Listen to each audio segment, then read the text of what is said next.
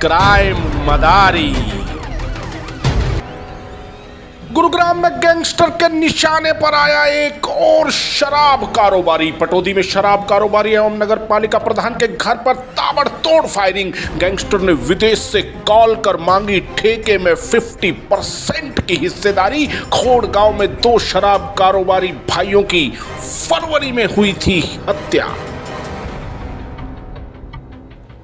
Cyber city Gurugram का पटोदी इलाका इन दिनों गैंग और गोली की दहशत में है। आज एक बार फिर शराब कारोबार के वर्चस्व की जंग की बानगी देखने को मिली, जब मोटरसाइकिल पर सवार होकर आए दो हथियारबंद बदमाशों ने पटोदी के शराब कारोबारी एवं नगर पालिका प्रधान चंद्रभान सहगल के घर पर की अंधाधुंध फायरिंग। इससे एक दिन पहले किसी रोहित नाम के शख्स ने सहगल को फ़ोन कर दी थी चेतावनी और गोल्डी बरार नामक गैंगस्टर ने व्हाट्सएप कॉल कर सहगल से ठेके में 50 परसेंट का मांगा हिस्सा। इसके बाद से पूरे इलाके में दहशत का माहौल बना है। प्रधान के घर के बाहर लगे सीसीटीवी कैमरे में पूरा घटनाक्रम कैद हो गया, जिसकी मदद से अब अपनी पुलिस जी गोली चलाने वाले बदमाशों की पहचान कर उन्हें अरेस्ट करने का प्रयास कर रही है।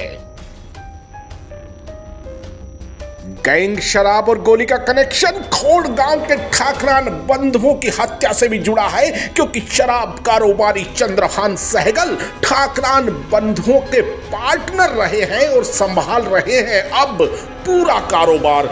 ज़ाहिर है, ठाकरान बंधुओं के हत्यारे शराब कारोबार में वर्चस्व की जंग जारी रखे है और उन्होंने एक बार फिर अपने पुलिस जी को ठेंगा दिखाकर दिन दहाड़े कर दी।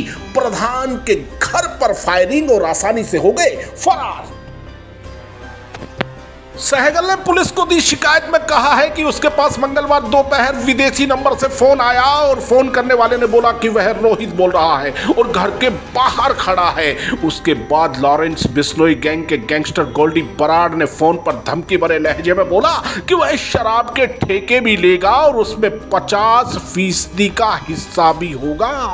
हर ठेके पर नाम होगा अजय जेलदार का और अगर हिस्सा नहीं मिला तो सारे परिवार की मौत की ज़िम्मेदारी तेरी होगी। जब प्रधान ने कहा कि वह ये कारोबार ही छोड़ देगा तो इस पर गोल्डी बरार बोला कि रुपए भी तू लगाएगा और हिस्सेदारी भी हमारी होगी। नहीं तो एक हफ़्ते में परिणाम देख लेना और झट से काट दिया फ़ोन।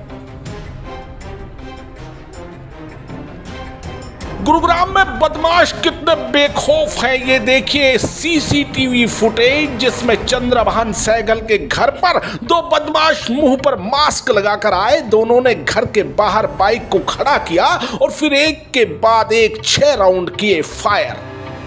गोलियाँ मकान की दीवारों और खिड़कियों पर लगी, जिससे खिड़की का कांच भी टूट गया। इस मामले में डीसीपी मानेसर मनबीर सिंह ने बताया कि पटोदी थाने में मामला दर्ज कर जाँच शुरू कर दी है। बदमाशों की धरपकड़ के लिए कई टीमें कर रही है काम, और जल्द ही आरोपियों को किया जाएगा गिरफ़्तार। तो साहेबान, पहले फ़ोन पर धमकी, फिर घर पर गोली चला, अपने मंसूबों से अवगत कराने वाले बदमाश तो अपना काम करके निकल गए और अब अपनी पुलिस जी हमेशा की तरह पीट रही है लकीर। लेकिन इस वारदात के बाद पटौदी इलाके में एक बार फिर दहशत का माहौल है। शराब कारोबार में वर्चस्व की जंग को लेकर छिड़ी है गैंगवार, गैंगस्टर कौशल और लॉरेंस बिश्नोई में। इसमें दो भाई फरवरी में गंवा चुके हैं अपनी जान। वहीं अब एक और शराब शराब कारोबारी है भय के साय में। ऐसे में देखना होगा, अब अपनी पुलिस जी कैसे कसेगी इन गैंगस्टरों पर शिकंजा। तो करिए इंतज़ार और देखते रहिए क्राइम मदारी। मदारी यूट्यूब चैनल को सब्सक्राइब करें और बेल आइकन का बटन ज़रूर दबाएँ ताकि अपराध की कोई खबर आपसे छूट ना पाए।